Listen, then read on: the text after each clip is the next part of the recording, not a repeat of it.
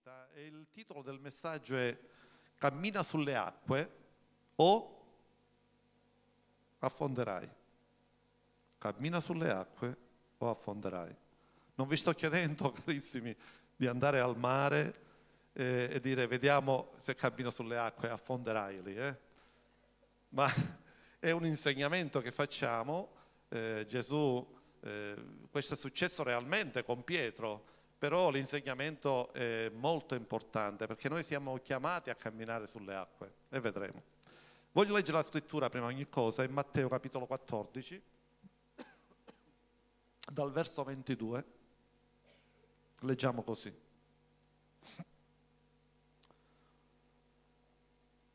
Qui siamo subito dopo la moltiplicazione dei pani. E subito dopo la moltiplicazione dei pani Gesù costrinse i suoi discepoli a salire sulla barca e a precederlo all'altra riva, mentre egli licenziava le folle. Dopo averle congedate, salì sul monte in disparte a pregare. E fattosi sera, era là tutto solo. La barca intanto si trovava al largo, in mezzo al mare, ed era sbattuta dalle onde perché il vento era contrario. Alla quarta vigilia della notte Gesù andò verso di loro camminando sul mare. I discepoli, vedendolo camminare sul mare, si turbarono e dissero, è un fantasma, e si misero a gridare dalla paura. Potete immaginare che trambusto dentro, dentro una barca, ah, un fantasma, tutti impauriti, no? Eh, qualcuno ha preso capelli bianchi in quell'occasione, forse. Si misero a gridare dalla paura, ma subito Gesù parlò loro dicendo, rassicuratevi, sono io, non temete. E Pietro, come dice Lillo che parlava sempre chiossà, e Pietro rispondendo gli disse, Signore, se sei tu, comandami di venire da te sulle acque. E gli disse, vieni. E Pietro, sceso alla barca, camminò sulle acque per venire da Gesù. Ma vedendo il vento forte ebbe paura e cominciò ad affondare e gridò dicendo, Signore, salvami! E subito Gesù stese la mano, lo prese e gli disse, Oh uomo di poca fede, perché hai dubitato? Poi, quando salirono in barca, il vento si acquetò. Allora quelli che erano nella barca vennero e l'adorarono dicendo, dicendo veramente tu sei il figlio di Dio. Ora vedete, il cristiano eh, nato di nuovo, quando parliamo di cristiani nati di nuovo parliamo di persone che hanno fatto un'esperienza vera con Gesù, perché non si nasce credenti, non si nasce cristiani, si diventa cristiani. Diventare cristiani è una scelta attraverso un incontro personale col Signore e questo avviene nel corso della nostra vita per mezzo dell'annuncio della parola di Dio, della predicazione del Vangelo. Chiunque crede nasce, come dice la scrittura, da acqua e da spirito, ovvero dalla parola e dallo spirito di Dio. Riceve lo Spirito Santo e diventa un figlio di Dio. Dio mette il suo sigillo, adesso tu sei mio figlio. E la Bibbia dice che quando avviene questo, Dio strappa la persona dal regno delle tenebre e la porta nel suo regno, che è il regno dell'amato suo figliolo Gesù Cristo. Questo è il regno della luce. Il problema è per i cristiani cominciare a camminare con una vita nuova, perché quando parliamo di tenebre, parliamo di luce, parliamo di due tipi di vita. Parliamo di due modi di essere, di due culture. Parliamo di cose opposte l'una all'altra, che sono in contrasto. Parliamo di carne e di spirito. E la Bibbia dice che noi siamo chiamati a, a camminare in novità di vita e a camminare per lo Spirito. Altrimenti se non camminiamo per lo Spirito, cammineremo e faremo e adempiremo le opere della carne che conducono alla morte. Allora eh, dobbiamo imparare a camminare con una nuova vita. Questa, in questa scrittura, questo camminare sulla, sulle acque, possiamo eh, parafrasarla, questa scrittura, paragonarla a un camminare in questa vita. Le acque figurativamente sono i tumulti, i popoli, le culture di questo mondo. E Gesù ci sapeva camminare sopra e la dimostrazione camminava proprio sulle acque letteralmente, era perché lui sapeva camminare effettivamente nella sua vita qui sulla terra, eh, al di sopra delle culture umane, al di sopra della mentalità umana, al di sopra dei preconcetti umani, perché lui era sceso dal cielo, era venuto dal cielo, aveva lo spirito di Dio. Ma poiché noi in lui siamo diventati figli di Dio, chi ha creduto in Gesù? Chi ha creduto in Gesù è figlio di Dio. Figli di Dio in Cristo, perché Lui è l'unigenito, ovvero la Bibbia lo chiama anche il primogenito dei risorti, l'unigenito nel cielo, la parola, primogenito dei risorti qui sulla terra. Allora noi siamo i, la Chiesa, la Bibbia ci chiama la Chiesa dei primogeniti, perché siamo primigeniti in Cristo Gesù. Ma questo ci implica, fratelli miei, che dobbiamo imparare a camminare con una vita nuova. Il problema sapete qual è? Il problema è che vivendo qui sulla terra, sebbene abbiamo le primizie dello Spirito Santo, sebbene eh, siamo stati spiritualmente trasportati già nel cielo, la Bibbia dice che noi siamo seduti nei luoghi celesti in Cristo Gesù, però viviamo fisicamente qui sulla terra. Il problema si pone perché dobbiamo imparare a camminare bene nel mentre siamo qui sulla terra siamo stati trasportati nel regno delle, della luce, ma camminiamo qui sulla terra affinché qui sulla terra possiamo illuminare. Sapete, se noi siamo qui e abbiamo conosciuto Gesù è perché qualcuno prima di noi ha camminato qui sulla terra e ha portato la luce qui sulla terra. In primis Gesù, ma poi tutti coloro che hanno creduto in Lui. Io quando sono arrivato alla fede è perché qualcun altro prima di me mi ha annunciato l'Evangelo, ma mille volte ma non soltanto una persona, ma tante persone. E quella era la luce. E quando tu percepisci, arrivi a percepire questa luce e ti decidi per Gesù, tu stesso diventi luce e sei chiamato a portare luce in mezzo a queste tenebre di questa vita. Credete che questa vita, questo mondo vive in mezzo alle tenebre? Gesù disse l'albero buono porta frutti buoni, l'albero cattivo porta frutti cattivi. Guardate che frutti porta questo mondo. Guerre ovunque omicidi, assassini, sete di potere, corruzione. Questi sono i frutti. E i frutti sono frutti delle, delle tenebre. I frutti della luce sono tutt'altra cosa. E noi siamo chiamati come seguaci di Gesù Cristo a portare frutti di luce, che sono pace, gioia, amore, benevolenza, cioè, eh, perdonare, eh, aiutare, sostenere, considerare gli altri più che considerare noi stessi, così come Gesù ci considerò più di se stesso, a noi. Allora, la vita che dobbiamo, dobbiamo vivere qui sulla terra possiamo paragonarla a una vita dove camminare sopra le acque. Noi, vedete, nella vita quotidiana abbiamo delle acque sotto di noi e noi dobbiamo imparare a camminare su queste acque le acque di questo mare, di questo mondo. Vedete, la vita sulle acque ci parla di una cosa molto importante, di camminare o di vivere la nostra vita in modo soprannaturale. A volte noi pensiamo che vivere in modo soprannaturale sia quando vediamo una liberazione, quando vediamo una guarigione, quando vediamo una persona che accetta Gesù e viene salvata è ok, sono cose soprannaturali. Ma il soprannaturale nella vita del cristiano deve essere quotidiano. Non deve essere un'eccezione, ma deve essere la vita di ogni giorno. Quella che vive quotidianamente. Quando tu vivi e c'è qualcuno che ti fa del male e tu lo perdoni, tu stai vivendo il soprannaturale. Quando tu non ricambi con la stessa moneta, stai vivendo il cielo qui sulla terra, il soprannaturale, perché il soprannaturale significa vivere il cielo qui sulla terra, così come Gesù venne a vivere il cielo qui sulla terra. E noi siamo chiamati tutti quanti a vivere il cielo qui sulla terra, altrimenti falliremo nei nostri obiettivi e affonderemo. È facile? Ma per niente. È difficile, molto difficile, perché c'è un conflitto. Però posso dirvi una cosa, si può. E posso dirvi un'altra cosa, è gratificante. E posso dirvi un'altra cosa ancora, è gioioso quando ci riesci. E posso dirvi un'altra cosa ancora, gli dai un calcio al diavolo quando lo fai. Posso dirti un'altra cosa ancora, tu ti senti bene quando riesci a fare la volontà di Dio. Ne vale la pena. Quando una cosa costa, viene molto apprezzata. Più costa, più la apprezzi. È vero?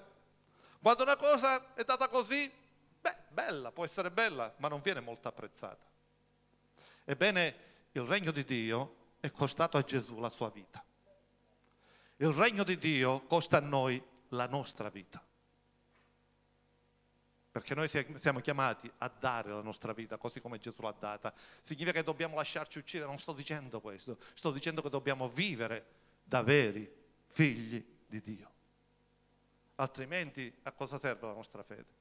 Gesù disse, se tu fai del bene a Carmelo perché Carmelo ti fa del bene, Tutti lo fanno questo, è naturale, non è soprannaturale.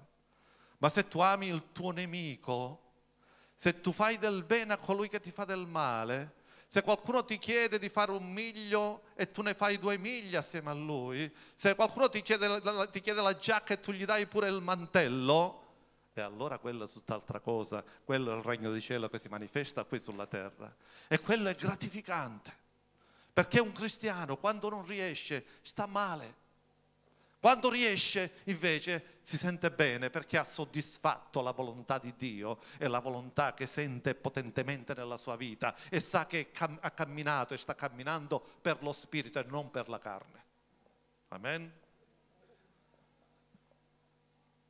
La vita sulle acque, fratelli miei, la vita sulle acque la possiamo vivere soltanto, si è parlato stasera molto all'inizio durante la presidenza, la, la lode, di parola, la parola di Dio. La parola di Dio è fondamentale nella vita del cristiano, è come la bussola, altrimenti tutto fa brodo. Come sappiamo dov'è la verità? Gesù lo disse a Pilato, per lui Pilato lo disse a Gesù, vi ricordate, cos'è verità? E Gesù disse una cosa molto importante, io sono la verità. Cos'è la vita? Ho scritto una poesia questo, vero? Ricordate, l'ho letto una volta. Cos'è la vita? Gesù disse, io sono la vita. Come si fa ad arrivare a Dio, a conoscerlo? Non sappiamo chi è Dio. Tutti credono che hanno un'idea su Dio. Gesù disse, io sono la via che conduce al Padre. Nessuno conosce il Padre se non per mezzo di me. Era un fanatico Gesù o diceva la verità? Se togli Gesù, tutto fa brodo e si entra nella confusione. O tutti hanno ragione o tutti hanno torto. Io credo che l'unico che è venuto qui sulla terra e che l'ha dimostrato risuscitando dai morti, questo è Gesù, nessun altro. Da qualsiasi altra religione vai, non esiste. Nessuno che ha fatto questo. E Dio ha lasciato la sua parola per non essere confusi, perché se non ci sarebbe la sua parola saremmo tutti confusi, ma la sua parola ci dà la direzione ci indica come muoverci, ci dice quali sono le cose giuste da fare, ci dice da che parte andare, ci dice chi è Dio, ci dice come possiamo arrivare a Lui, ci dice come dobbiamo vivere la luce qui sulla terra, ci dice cosa sono le tenebre, ci dice cosa è l'egoismo, il vero egoismo, ci dice cosa è il vero amore, tutto è nella parola di Dio, la parola di Dio è meravigliosa. Senza la parola di Dio io mi sentirei perduto ma la parola di Dio è il tutto nella vita del cristiano. Vedete, quindi per camminare qui sulla terra abbiamo bisogno di due cose molto importanti per camminare sopra le acque e ce l'abbiamo. Chi ha creduto in Gesù ce l'ha. Se hai creduto in Gesù ce l'hai. Credi nella parola di Dio? Ce l'hai la parola di Dio. La parola di Dio è la Bibbia che viene rivelata gradualmente nella vita del credente, attraverso la lettura, attraverso l'ascolto della parola, come state facendo questa sera, come stiamo facendo, io stesso sto ascoltando, come stiamo facendo questa sera, ci indica, ci dà le direzioni, ci fa vedere come stanno le cose. La parola di Dio, vedete, ci, ci, ci fa vedere esattamente la condizione di ogni cosa, secondo la rivelazione che abbiamo. Non comprendiamo tutto, non abbiamo la presunzione di comprendere tutto. Se no, come dicevo ieri a Messina, se abbiamo questa presunzione ci mettiamo sopra la parola.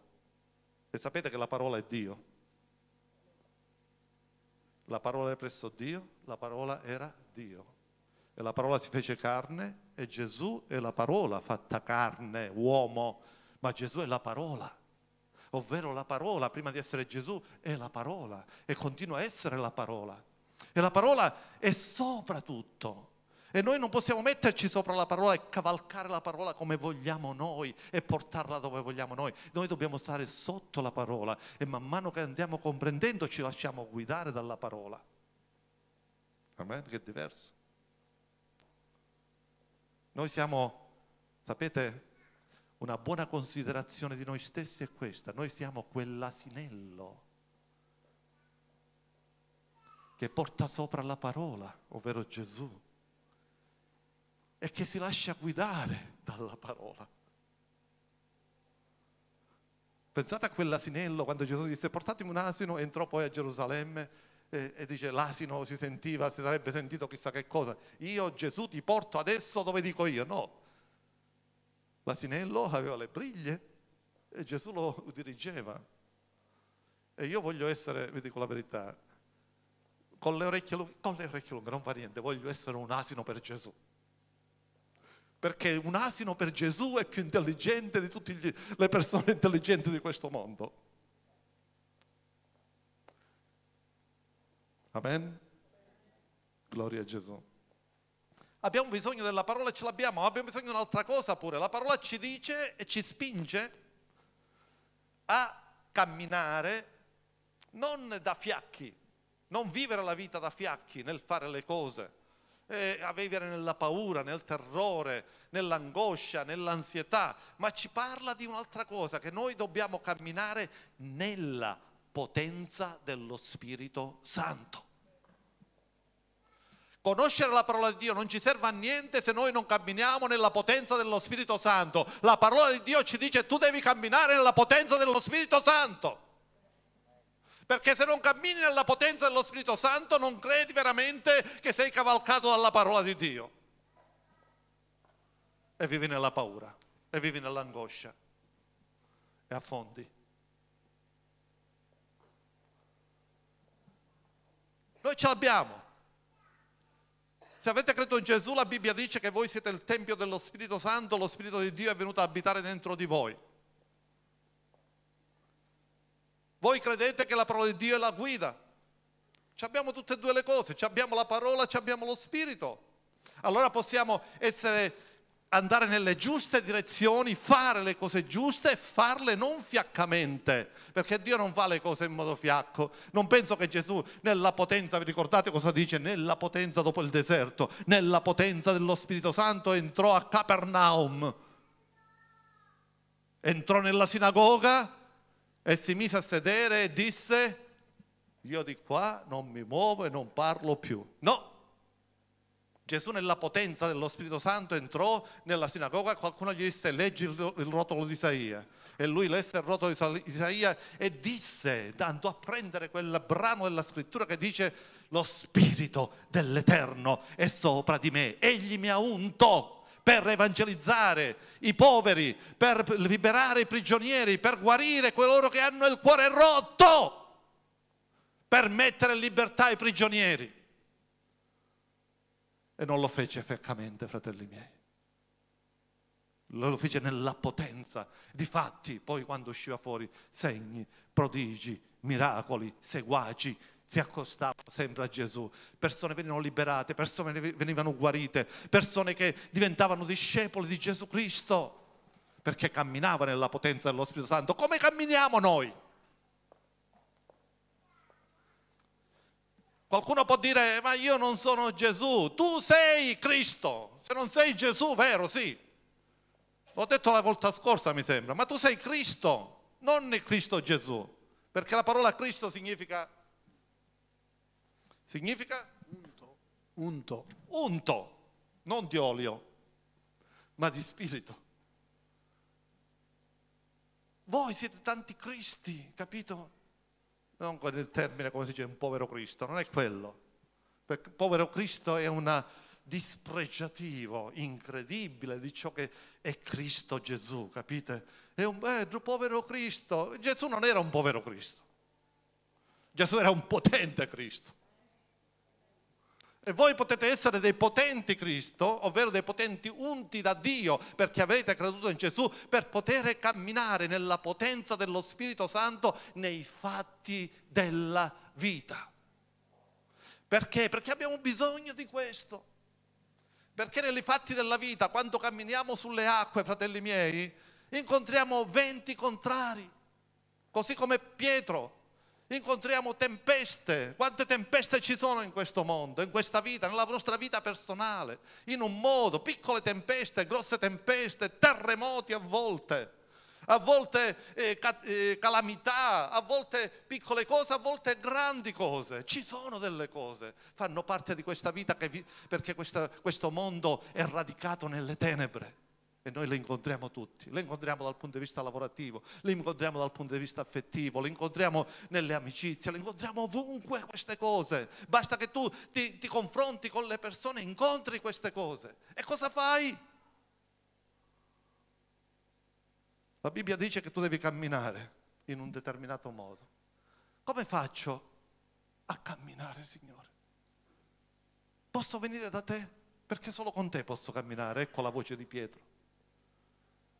E Gesù cosa disse?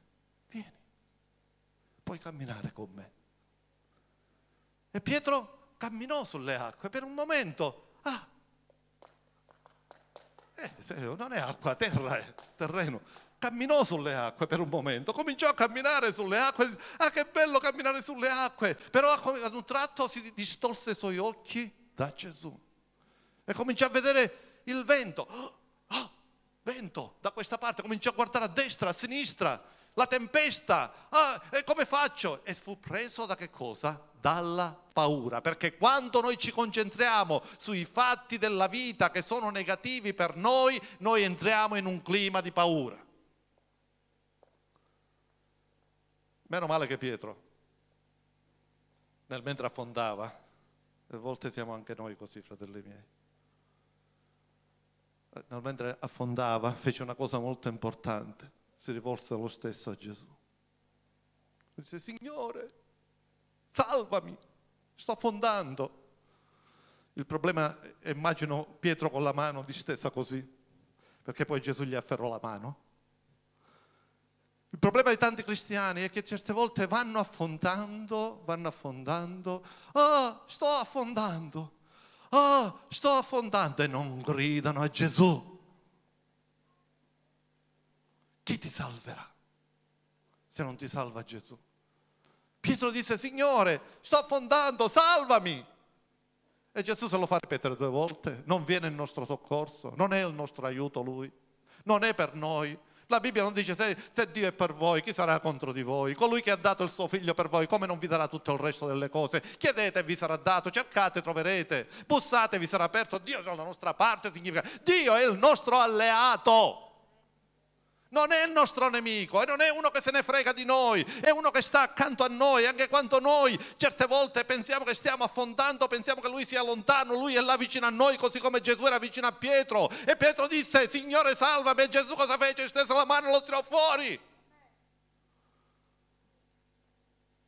Io non so nella condizione in cui ci troviamo noi, ma quando ti senti affondare, ovvero non ce la fai con i fatti della vita, Grida Gesù. Grida Gesù. Sicuramente poi il Signore ci tirerà un po' l'orecchio in modo amorevole, così come a Pietro. Cosa fece con Pietro? Avete visto?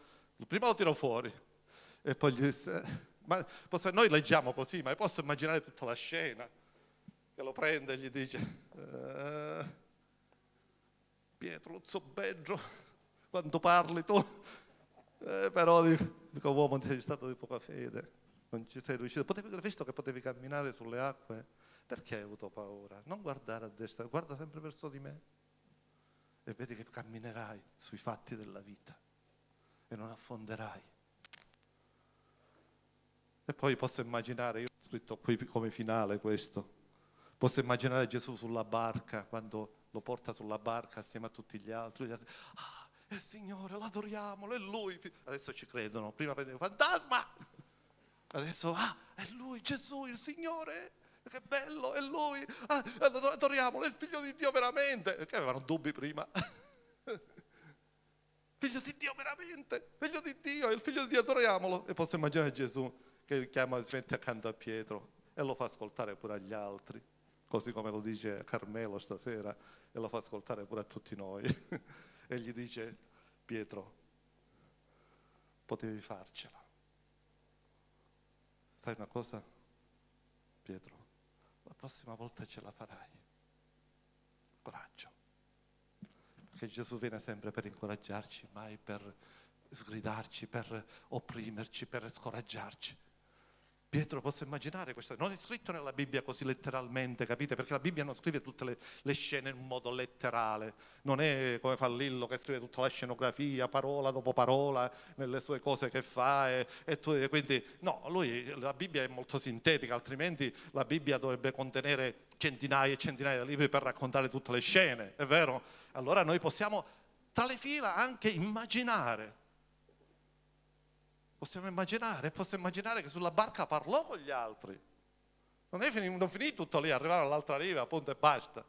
Parlò con gli altri, si sedette con gli altri, disse adesso questa tempesta non c'è più. Adesso poi cammin- potete andare sereni e tranquilli perché io sono con voi.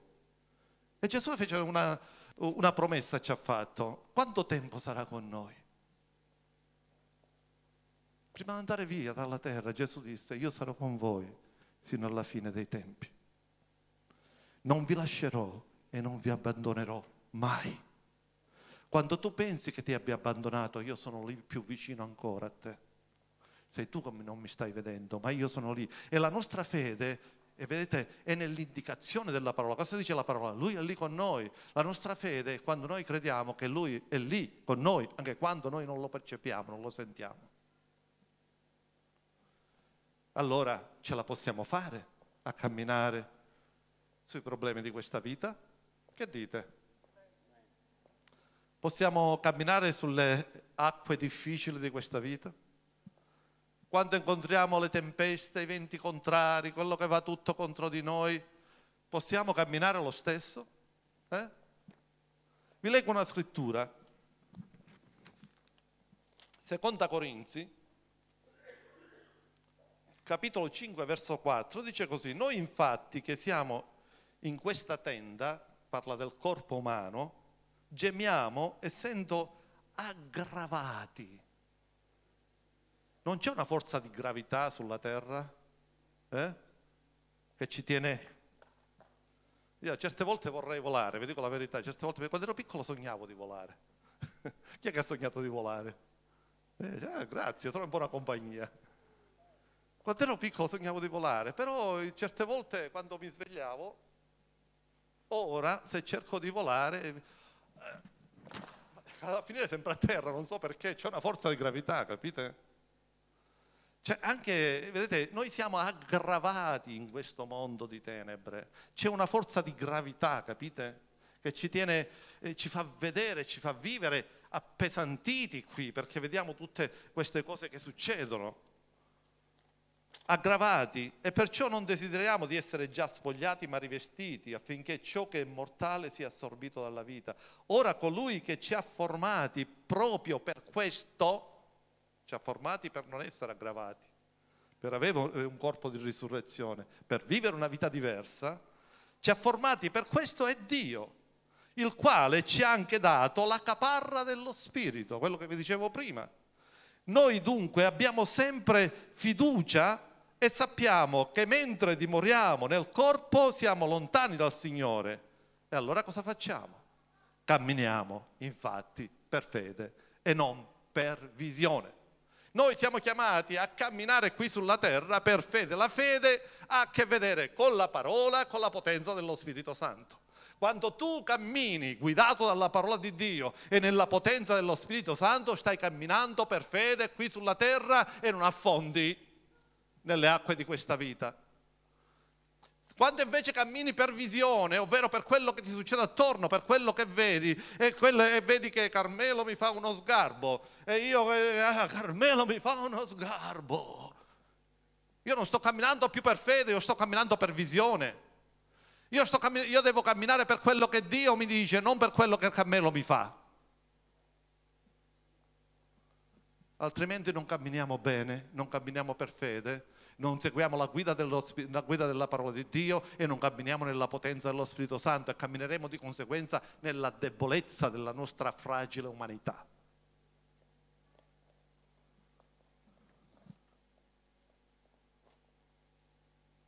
Noi non camminiamo per visione. Impariamo, fratelli miei, a camminare per fede, sebbene sia difficile. Ma è possibile. Pietro sulle acque aveva cominciato per fede e poi affondò. E Gesù cosa fece? Non c'è un rimprovero in questo, capite? C'è un'esortazione. E Gesù cosa fece? Lo tirò fuori e gli disse, dai, riprovaci, ce la farai la prossima volta. Pietro non ce la fece neanche nel giorno del tradimento. Anche lì affondò, vi ricordate? Lo rinnegò tre volte prima che il gallo cantò. E Gesù gliel'aveva predetto, ma dovevano andare in quel modo le cose, ma c'era la fragilità ancora di Pietro. Ma poi vediamo come Pietro cammina sulle acque nel giorno di Pentecoste, è incredibile. Vi scende la potenza dello Spirito Santo, riuniti, lingue di fuoco e lui si alza sopra tutti e comincia ad annunciare con la potenza dello Spirito Santo l'Evangelo di Gesù Cristo e non ha più paura. Non ha più paura. La paura, fratelli miei, è pericolosa. La paura viene dalle circostanze, la paura viene dal basso, dall'inferno, ma noi possiamo ricevere la forza che viene dall'alto, nella potenza dello Spirito Santo. Ebrei 12.1 dice ancora così, anche noi dunque, essendo circondati da un così gran numero di testimoni, quindi non siamo soli, non siamo i primi a camminare così, tanti ce l'hanno fatta significa, tanti, tanti, tanti ce l'hanno fatta, ce la possiamo fare ancora noi pure. Amen? Non siamo soli, tu non sei un'isola, tu sei una chiesa, ci sono tanti come te e tanti nel tuo passato, ma anche nel presente, tanti ce l'hanno fatto a camminare in questo modo, anche tu ce la puoi fare, anch'io ce la posso fare. Io mi sento incoraggiato da questo, non mi sento scoraggiato dalle cose del mondo o da coloro che non ce la fanno, io mi sento incoraggiato da Gesù che ce l'ha fatto e da tutti coloro che ce l'hanno fatto. Allora dico ce la posso fare anch'io, ce la posso fare anch'io forse qualche volta affonderò, ma griderò a Gesù e lui mi rialzerà e continuerò ad andare avanti e sicuramente il Signore sarà con me, mi darà la forza e ce la farò arrivare fino in fondo, fin quando lo vedrò. Alleluia.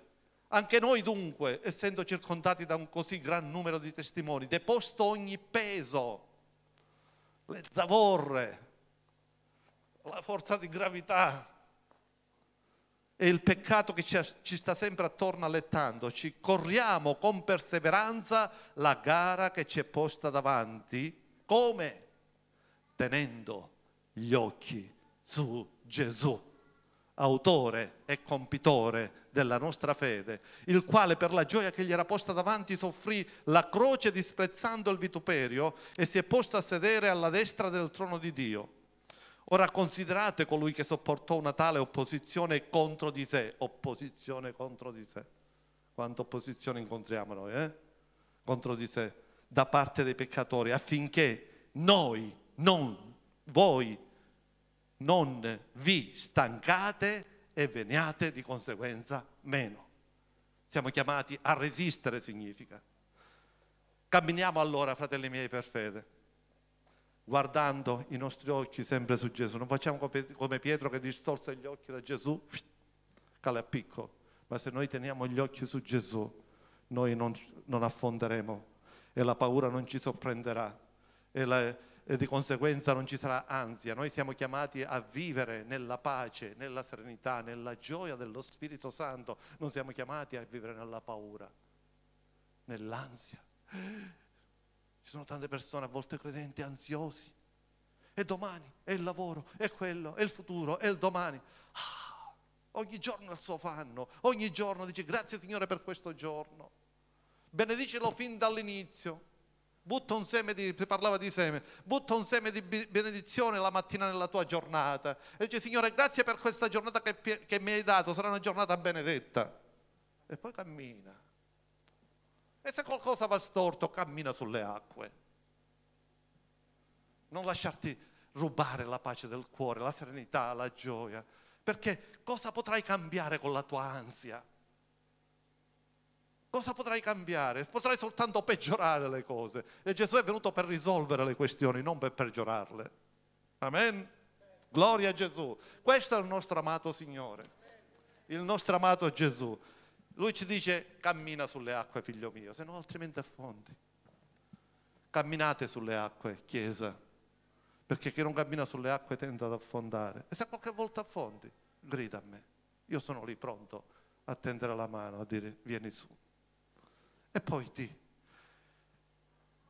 ti incoraggerò, ti ristorerò, non ti accuserò, non ti sgriderò neanche. Ti dirò soltanto che non hai avuto un po' di fede in quel momento, però ti dico soltanto che ce la puoi fare e che andando avanti ti insegnerò come fare. Amen? Ci alziamo in piedi, gloria a Gesù. Alleluia.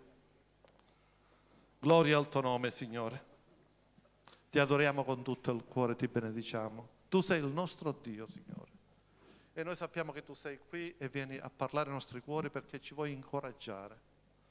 Ci vuoi dire andate avanti in questa vita, io sono con voi.